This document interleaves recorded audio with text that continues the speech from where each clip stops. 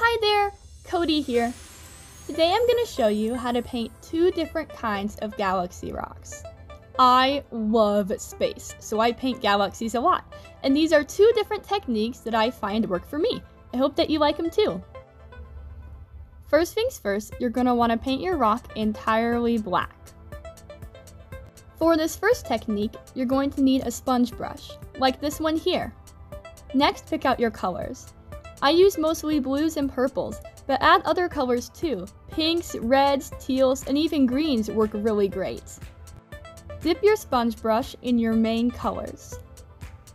Dab off the excess on a paper towel, because we don't want too much paint on the brush.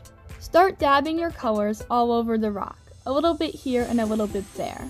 Try not to get too much of it on there because we want the black to show through. I often use the side of the brush that isn't covered in paint to soak up any excess off the rock and to blend the colors together. Keep repeating with your different colors until you're satisfied with how it looks. Once you're done with that, you can go ahead and add the stars.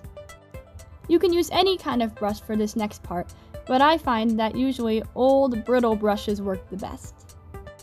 Dip it in some white paint and scrape your fingers across the bristles, splattering the rock. Do as little or as much as you want. It's your galaxy. Ta-da! Now you have a galaxy rock. I discovered the second technique very recently, and I really love how it turns out. First, get a good amount of paint on your paintbrush and put a big blob on your rock. Add more blots of paint in different colors, right on top of each other. Don't be afraid to add too much, really just slop it on there. Next, use a toothpick, or a needle like I did, to drag the paint from the center out into a spiral shape. If you would like, you could put some more black on top to spread throughout your galaxy.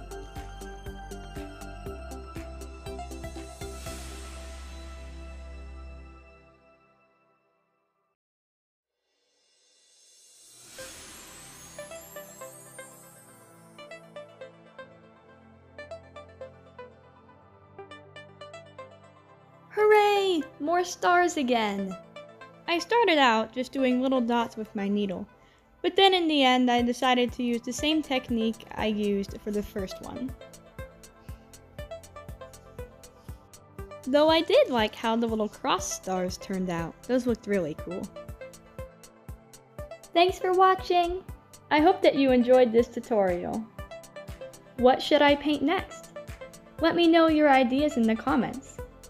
See you later. God bless you and have a wonderful week.